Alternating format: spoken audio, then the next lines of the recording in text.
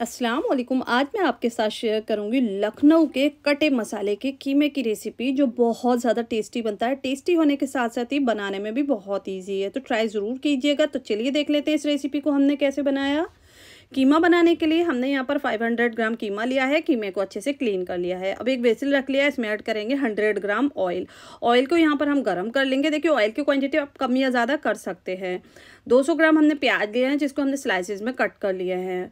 प्याज ऐड कर देंगे और प्याजों को हम एक मिनट मिक्स करेंगे। ऑयल के अंदर मतलब फ्राई करेंगे एक मिनट के लिए। और एक मिनट फ्राई करने के बाद इसमें कुछ साबुत मसाले जाएँगे तो वो देख लेते हैं। वन टीस्पून ज़ीरा, वन टीस्पून काली मिर्च, एक बड़ी इलायची यानी काली इलायची, एक फुल जावित्री का, एक इंच का दालचीनी का टुकड़ा, दो हरी इलायची, चार लौंग और एक तेज़पत्ता ऐड कर देंगे।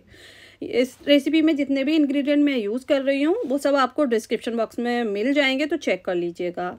अब देखिए, यहाँ पर प्याजों को हमने एक मिनट के लिए भून लिया है। जब एक मिनट इस तरह से भून जाए, हल्का सा कलर चेंज हो जाए प्याजों को, तब इसमें कीमा ऐड कर देना कीमे को पाँच मिनट हमें हाई फ्लेम पर भूनना है अच्छे से।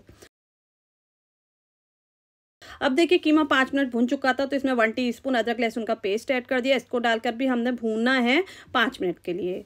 उसके बाद अब इसमें ऐड करना है छः से सात लहसुन की कलियाँ बारीक कट की हुई, एक इंच का अदरक का टुकड़ा बारीक कट किया हुआ। तो ये ऐड कर देंगे। अब इसमें नमक ऐड करेंगे। तो one and half teaspoon यानी डेढ़ छोटा चम्मच हमने यहाँ पर नमक ऐड कर दिया है। आप अपने टेस्ट के अकॉर्डिंग ऐड कर लीजिएगा, जितना भी आप खाना पसंद करते हो। और देखिए, अच्छे से इसको हमने मिक्स करना है। अब इसमें ऐड करना है हमें टमाटर। तो देखिए दो बड़े साइज़ के हमने टमाटर लिए इसको हमने स्लाइसेस में कट कर लिया तो ये टमाटर ऐड कर दिए हैं।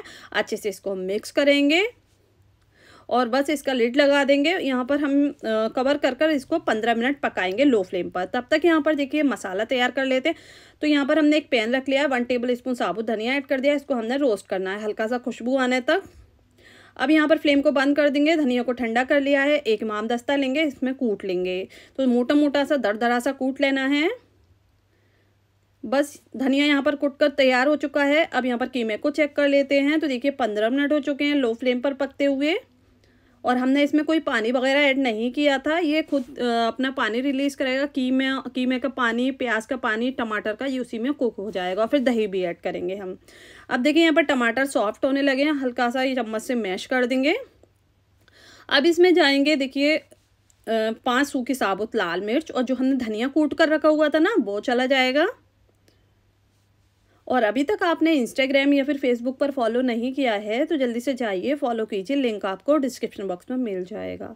और कोई भी रेसिपी आप मेरी ट्राई करते हैं, उसकी पिक शेयर करना चाहते हैं तो मुझे इंस्टाग्राम पर कर सकते हैं।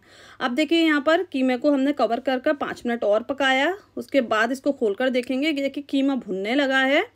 और यहाँ पर हमने लो टू मीडियम फ्लेम पर पकाया था पाँच मिनट के लिए।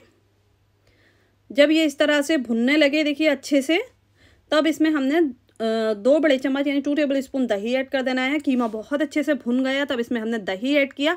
और पाँच यहाँ पर हमने हरी मिर्च ले ली। ये कम तीखी वाली इसलिए मैंने पाँच की क्वांटिटी ली है। पाँच हरी मिर्च आप कम ले लीजिएगा अगर तीखी वाली है। अच्छे से इसको हमने मिक्स कर लिया। अब देखिए दस मिनट के लिए और छोड़ देंगे इसको पकने के लिए लो फ्लेम पर। और दस मिनट बाद यहाँ पर हम खोल कर देखेंगे।